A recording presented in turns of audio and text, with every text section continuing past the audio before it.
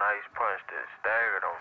And then it looked like he was going to take control. Second round, he came out in control. You could tell Hart was still unstable from that. Then after that, Jesse Hart just had control of the fight. In the last round, it was like, dude just quit. You know what I mean? Like, he tried to quit two, two, three times. And the ref gave him time. He still arguing with the ref. Like, come on, ref, that ain't no knockdown. So, you know, Demond Nicholson showed no character. Weak fighter gets no respect.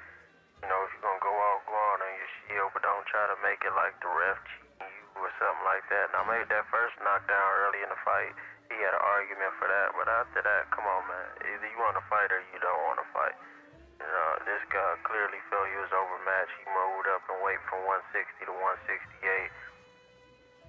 I feel like if he actually came and had a better strategy, he could have won this because he had the power to put Jesse Hart down. He just had to be more aggressive, and he wasn't aggressive enough, especially not He did all that talking just to come quick, so he gets no respect. Shout out to Jesse Hart moving to 24 and 1, and uh, Demond Nicholson moving to 18 and 3. Another win for the Philly.